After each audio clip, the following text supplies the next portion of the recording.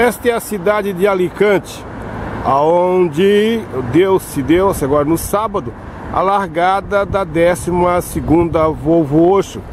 É uma cidade litorânea, localizada aqui no mar Mediterrâneo, e os, os sete barcos deverão chegar a Itajaí no dia 4 de abril de 2015. Enquanto isto, o Regata News, ao longo dessa jornada, vai acompanhando o dia a dia de todos os velejadores, que neste ano especificamente tem algo um pouco mais histórico, com a participação do catarinense André Fonseca, um ilhéuzinho ou manezinho da ilha que está ganhando espaço no contexto de um seleto grupo de navegadores mundiais. Uh, o, o Bochecha faz parte da equipe do Ike Martinez, que é do News. Nós estamos aqui a bordo do Mapfre na Volta ao Mundo e estou mostrando para vocês como é que é um pouquinho da vida a bordo. Vocês vão ver que o barco é muito espartano e basicamente é apenas as camas, uma pequena cozinha e convido vocês a virem a Itajaí conhecer um pouquinho como é que é a vida a bordo de um barco de volta ao mundo. Da sua maneira, que ela achava melhor e todo mundo tem igual. Então aqui embaixo a gente tem os motores e o gerador que é, porque o motor, ah, mas é um barco a vela assim, mas o motor a gente usa muito, porque tudo que a gente usa como energia, a gente precisa recarregar a energia.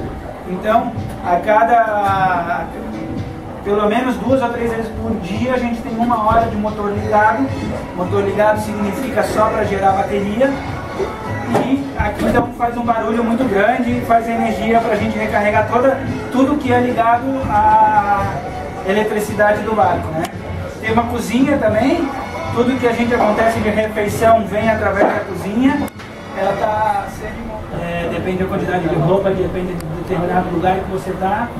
Depois você come, uh, depois você entra dentro da cama para descansar um pouco e 30 minutos antes de você sair você tem que acordar para voltar a colocar a roupa e se preparar para ir para fora, né? Então às vezes você tem um intervalo de 3 horas no máximo para descansar e que isso às vezes é quebrado por alguma manobra do barco, se o barco precisa trocar as velas, ou se o barco precisa fazer alguma manobra de, de é, troca de direção, também indo para outro local, também indo para outro rumo, toda a tripulação precisa sair, porque toda a manobra precisa dos oito tripulantes. Então, todo mundo acordado e às vezes você entra em manobra e passa um turno de descanso o tempo inteiro trabalhando e seu turno foi embora e você só vai descansar daqui a uma próxima possibilidade. Você falou que 80% dos equipamentos usados dentro do barco lembram o alpinismo. Por que e que equipamentos são esses? Na verdade, é porque eu acho que o alpinismo é um esporte muito mais conhecido e desenvolvido e que lida com a neve, lida com o frio extremo então são equipamentos que são bons, são equipamentos que são conhecidos, o saco de dormir, as nossas roupas são todas baseadas nisso, o saco de dormir, então a, a espuma que a gente coloca na cama, tudo isso vem da mesma linha do alpinismo, porque aqui também eu acho que a gente está muito parecido, a gente está trabalhando em áreas com muito frio e áreas muito molhadas, então eu acho que a semelhança do esporte da vela com o, com o alpinismo é muito grande é, nessa área do que, do que é uma barraca lá na. Ah, eu acho que aqui a gente também tem que. É, é uma competição, você tem uma competição com os outros barcos, você tem que fazer bem para você estar tá dentro da equipe.